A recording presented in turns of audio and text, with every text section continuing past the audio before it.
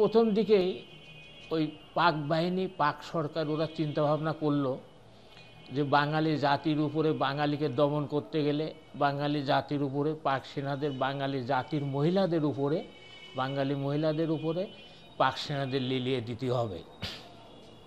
এবং অগ্নিসংযোগ, ঘর, বাড়ি সব জ্বালায় পোড়ায় দিয়ে নানানভাবে অত্যাচার করে তাদেরকে নির্মূলে মানে বাঙালি জাতিকে ধ্বংস করার প্ল্যান ওরা মার্চ মাসের প্রথম দিকেই নেয় একাত্তরের। এবং ওরা পাক জেনারেলরা বলতে শুরু করল যে যে আমরা বাংলাদেশের মানুষকে চাই না, আমরা বাংলাদেশের মাটিকে চাই। কারণ বাংলাদেশের মাটিটা উর্বর। তো পাক বাহিনী ওরা চব্বিশে মার্চের আগেই প্রথম পর্যায়ে তো পাক বাহিনী প্রতিরোধ যুদ্ধে মার খেয়েছে ওরা পালিয়ে গেল। পালিয়ে তো যেতে পারেনি, সবাই মারা পড়ল এই বাংলার মাটিতে। তারপর দ্বিতীয় পর্যায়ে যে চব্বিশে মার্চের সময় যে স্টার্ট হলো, শুরু হলো, ওদের আগ্রাসনটা, ওদের আক্রমণটা বাংলার মাটিতে, বাংলাদেশে। তখন ওরা মানে এসে প্রথম ওদের ভিউ হলো, ওদের প্রথম ওদের লক্ষ্যই হলো নারী নির্যাতন। এবং নারী নির্যাতন এমনভাবে শুরু করল যে মানে কোনো মানে যাকে পাচ্ছে সামনে, তাকে এবং রাত্রি ঘরের অন্ধকারে মানে রাতের আধারে ঘর বাড়িতে ঢুকে বুট দিয়ে তাদের বুট দিয়ে দরজা ভেঙে পা, দরজার পরে পা মেরে, দরজা ভেঙে লাথি মেরে মহিলা যাদের পাচ্ছে তাদেরকে ধর্ষণ করতেছে, এরকম।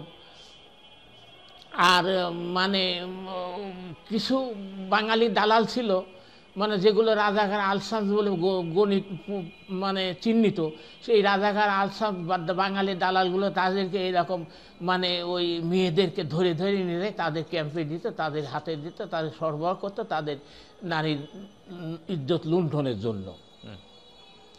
আমরা এমন খবর মাঝে মাঝে পাচ্ছি যে অমুক গ্রামে পাক বাহিনী এসে রাতের আধারে এবং দিনের বেলা অমুক গ্রামের অমুক বাড়ির মহিলাদেরকে ধর্ষণ করে চলে গেছে।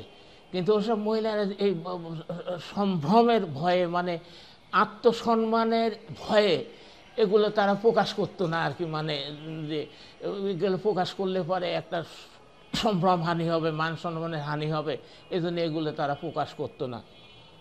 কিন্তু আমরা বুঝতে পারতাম যে অমুক বাড়িতে এগুলো তারা পাক বাহিনী এসে ওরা অত্যাচার করেছে। এবং ঠিক আমরা তৎ মানে পরবর্তীতেই ওই সব বাড়িগুলোতে আমরা মানে পাহারার আধার হিসাবে থাকতাম ওইসব বাড়ির আশপাশে গ্রামে যে আবার আসে কিনা হ্যাঁ।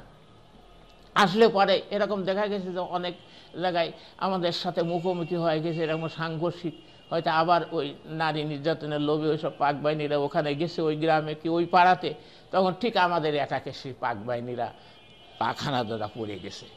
ওখানে তুমুল এরকম একটা যুদ্ধ হয়ে গেছে।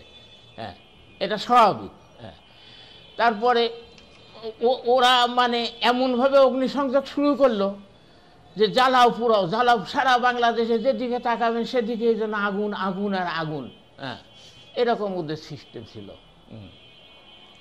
তে এখন এই তো ওদের মানে কাহিনী ওরা বলতো যে আমরা মুসলমান মানে আসলে ওরা নামেই মুসলমান, কিন্তু ওই নারী ধর্ষণ লুণ্ঠনকারী, ইজ্জত লন্ডন অগ্নিসংযোগকারী, এরা তো কোনদিন মুসলমান হতে পারে না। এরা তো মানে কোরআনে তো কোনো নির্দেশ নাই যে এরকম মানে মুসলমান এই কাজগুলো করবে। এগুলো সম্পূর্ণ মানে এগুলো মানে তাদের মানে বিপক্ষে চলে যাচ্ছে। তারা আসলে মুসলমান, নামধারী মুসলমান তারা আসলে তারা মুসলমান।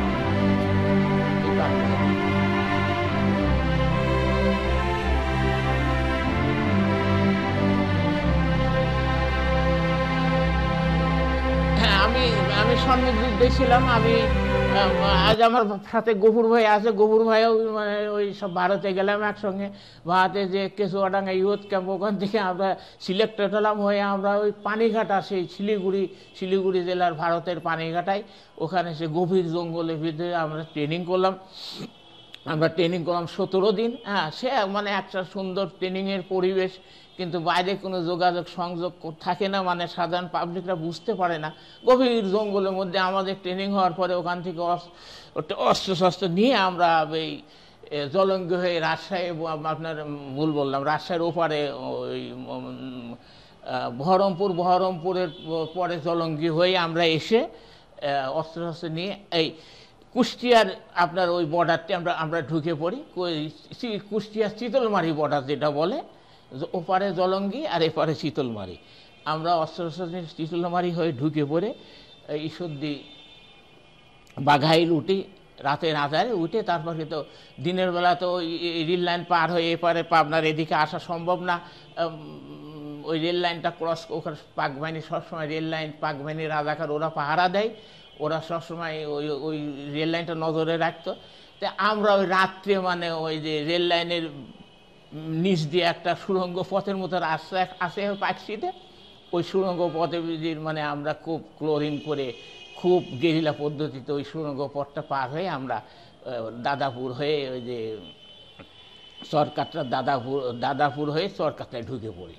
সরকারটা ঢোকার কিছুদিন পরেই আমাদের রফিকুল ইসলাম বকুল পাবনার উনি যুদ্ধকালীন কমান্ডার ছিলেন, জেলা কমান্ডার। ওনার নেতৃত্বে আমরা সাতাশে নভেম্বর সানিদিয়ার যে যুদ্ধটা হয়, ওই যুদ্ধে আমরা অংশগ্রহণ করি।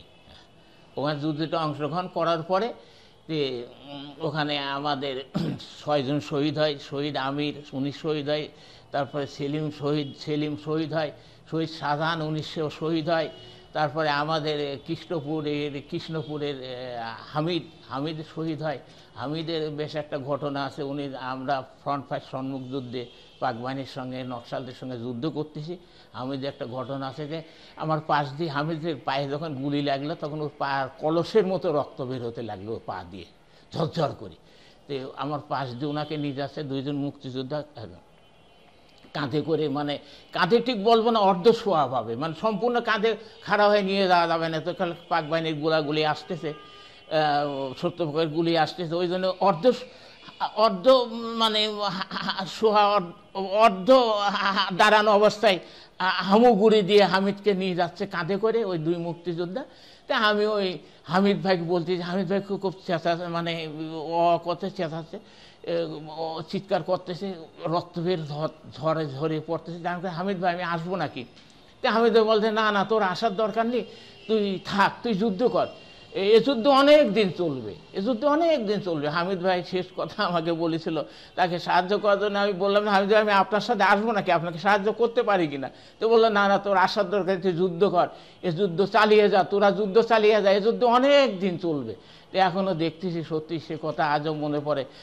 সাতচল্লিশ বছর পরে আজও মনে পড়ে হামিদ ভাই সেই কথা যুদ্ধ এখনও চলতেছে, যুদ্ধ আমাদের এখনও শেষ হয়নি।